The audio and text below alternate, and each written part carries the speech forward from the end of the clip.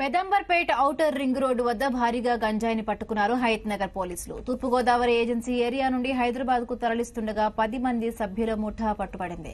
ముఠా సభ్యుల్లో ఇద్దరు యువతులు కూడా ఉన్నారు. ఔటర్ రింగ్ రోడ్డు సమీపంలోని ఓ కారులో నుండి మరొక కారులోకి గంజాయిని మారుస్తూ ఉండగా పోలీసులు పట్టుకున్నారు. గంజాయి మొత్తం నాలుగు వందల డెబ్బై కేజీలు ఉన్నట్లుగా పోలీసులు తెలిపారు. గంజాయితో పాటు నాలుగు కార్లు రెండు లక్షల నగదు స్వాధీనం చేసుకున్నారు.